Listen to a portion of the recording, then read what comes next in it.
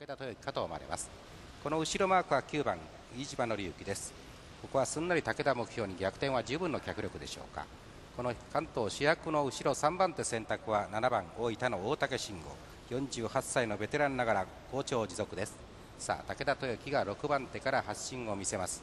5番の根高氏も先行が持ち味なんですが1番の武田が一旦5番の根田の横で止まらせませんか。8番の中村の先頭今のところ変わらず武田が2番手に上昇で根田はすんなり下げていきます。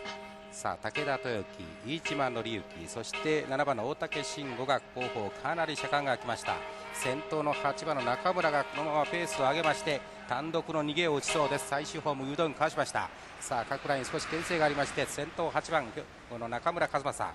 かなり車間がまだ空いた状態。センターから2コーナー。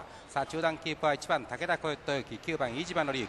そして7番の大竹慎吾です。5番の根田隆が後方から一気にまくってきます。まだしかし先頭2番手以降の車間が詰まりません。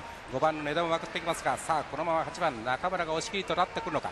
5番の根田が懸命にまくってきますが1番武田は3番手。どうやら8番中村が押し切ってのゴールだ。8番5番。